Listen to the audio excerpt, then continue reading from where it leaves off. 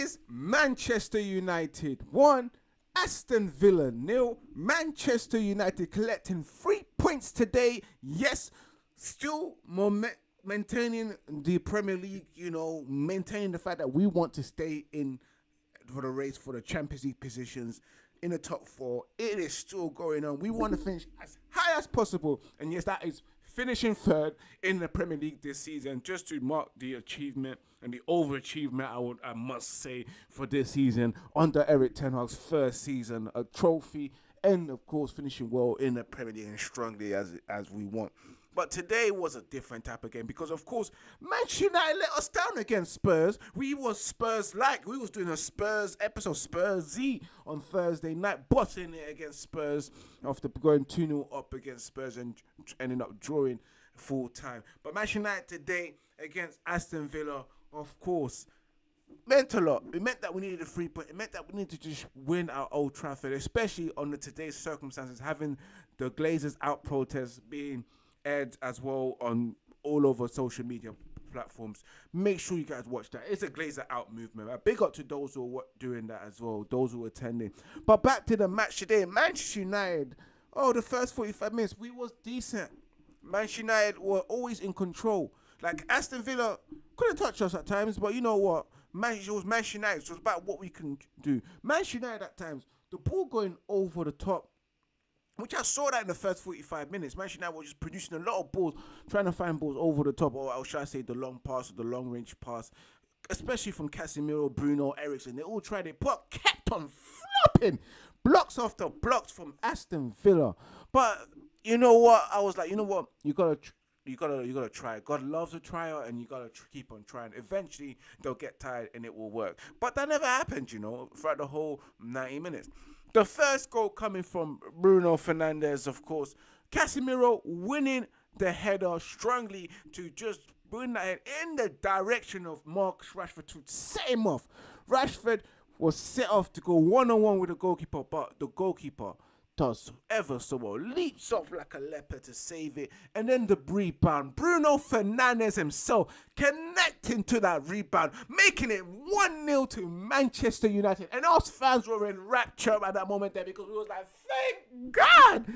We was never going to score. Finally, a goal. Oh, and it happened to be the guy, Bruno Fernandes himself, no, doesn't want to hear it, doesn't want to hear that negativity. Nigga doesn't hear that he's not the best number 10, you know, can't dribble and all that kind of stuff. But he can find the net and assist when he needs to. Man like Bruno Fernandes making it 1 0 to Manchester United at that time, we was good.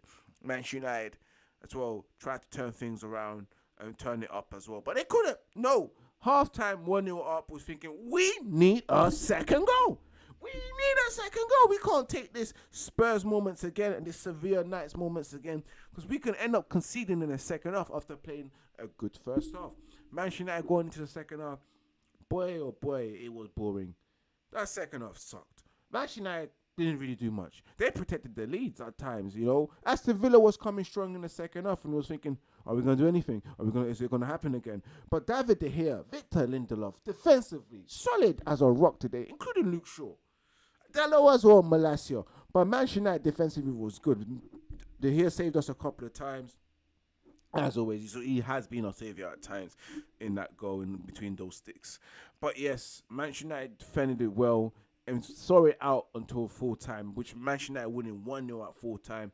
Collecting another three points is what we want to see. We're happy with that. But we want to get more goals, baby, because our goal difference looks shit. You know, we're not destroying teams. But what I like today from today's team, I saw Manchester United trying to put themselves in little pockets and make runs into spaces. You know, so they, but they're just not being picked out and found out by the right players. It is what it is today. You know, players as well. Luke Shaw was amazing in the first half as always. He done so well. At times, he was playing centre midfield, and I was like, yes, he was replicating what Martinez does in that defense defensive position that he plays at centre back, getting forward at times and putting himself into that midfield position to just help build the attack of Manchester United. And of course, Sancho was all right, but he was shit as well. Um, Casemiro was good, got himself involved, smart tackles.